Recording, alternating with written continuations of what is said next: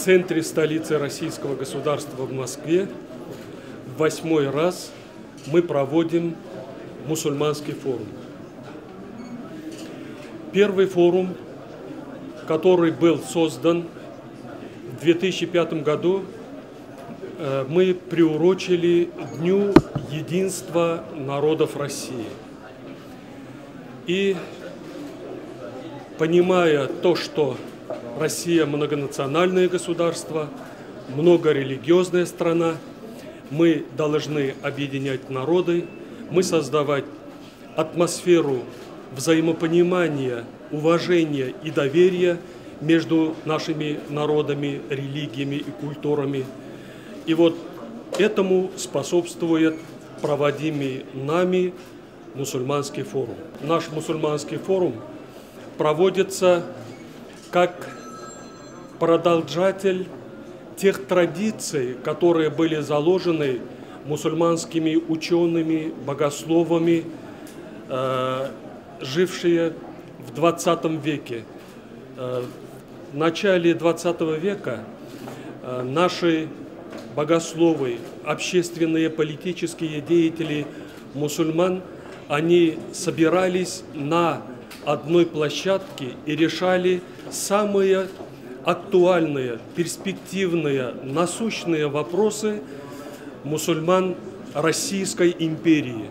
И вот мы сегодня, э, проводя наш форум, также хотим сплотить наш народ России, мусульман страны, вести к консолидации наших умов, наших сердец, наших дел и способствовать сохранению мира, стабильности в нашем многонациональном, многорелигиозном государстве.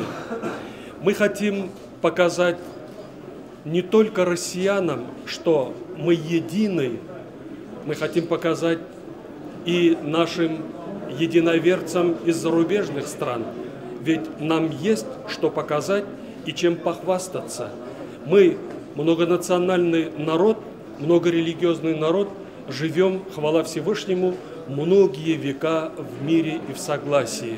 И к нам приезжают наши братья, партнеры из европейских стран, из других континентов для изучения опыта мирного сосуществования религий и народов Российской Федерации.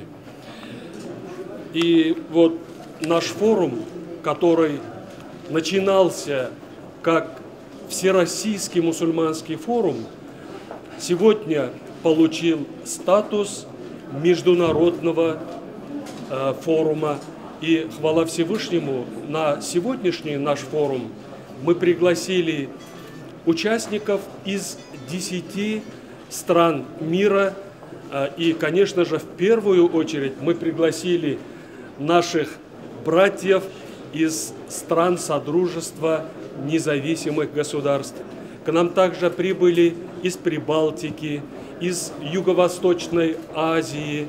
Это означает, что э, мы, мусульмане и России, и стран Содружества независимых государств, и мира в целом являемся частью исламского мира.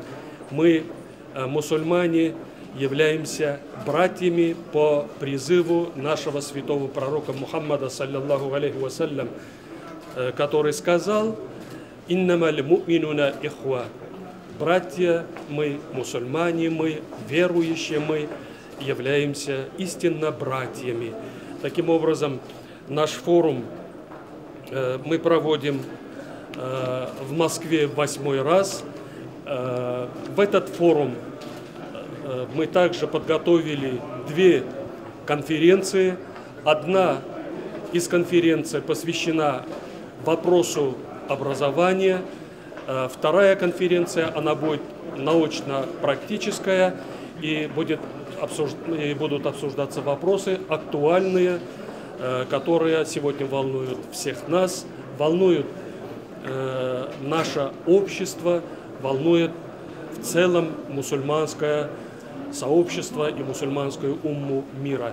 Я благодарю всех вас за ваше внимание нашему форуму.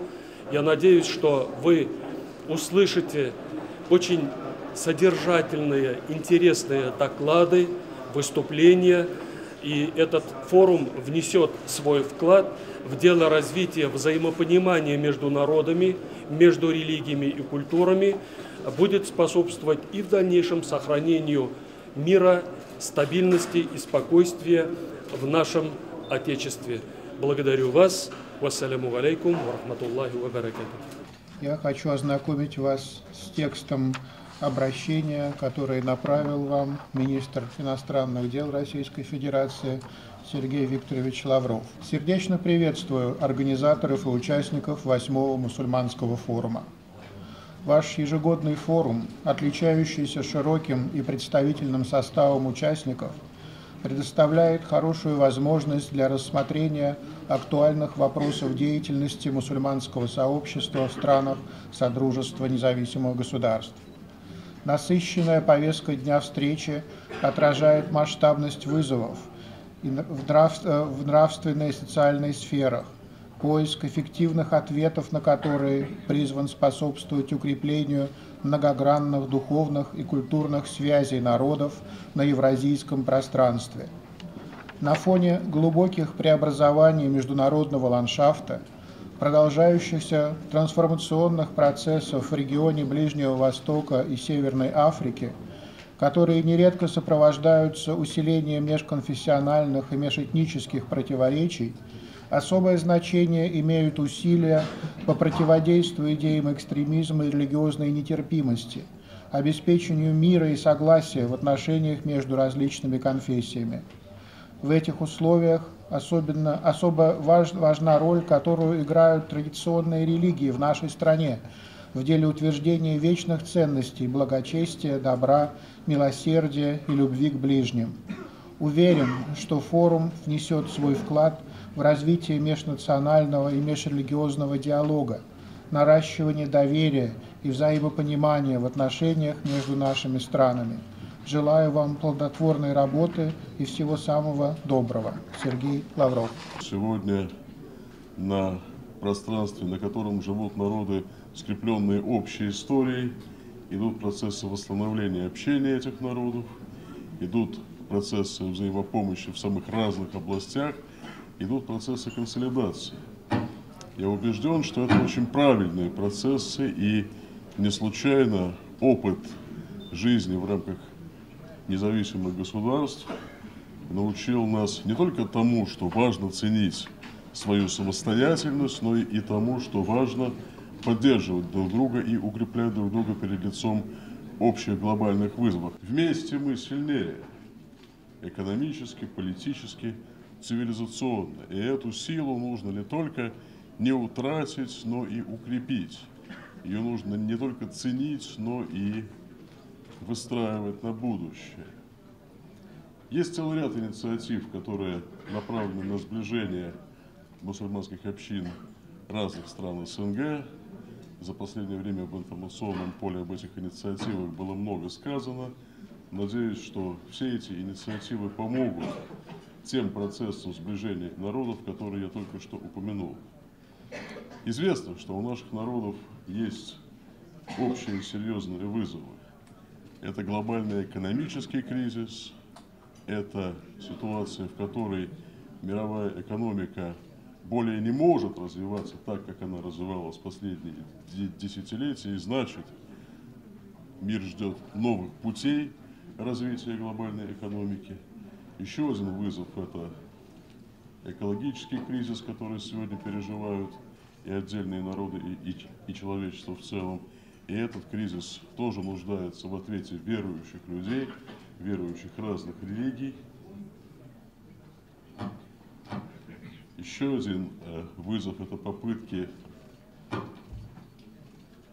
устройства различных экспериментов по изменению исторического пути народов, по изменению социального устройства народов без воли самих этих народов. Известно, что в мире есть силы, которые хотели бы поиграть на конфликтности, для того, чтобы изменить политические системы в тех или иных государствах и сделать эти государства и их народы заложниками геополитических и стратегических схем, которые этими народами не выбирались.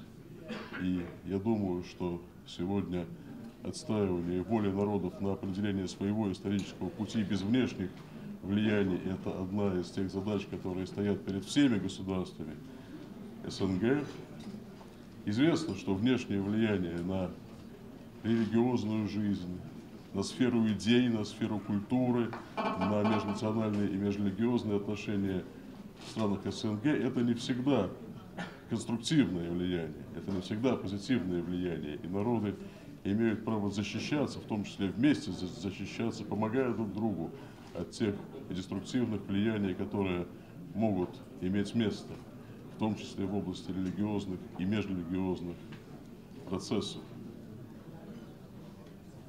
Мы призваны, как представляется, вместе заботиться о сохранении богатого культурного и духовного наследия наших народов, об их процветании. И на этом пути у нас есть прекрасные возможности для взаимной поддержки, для общения и взаимопомощи.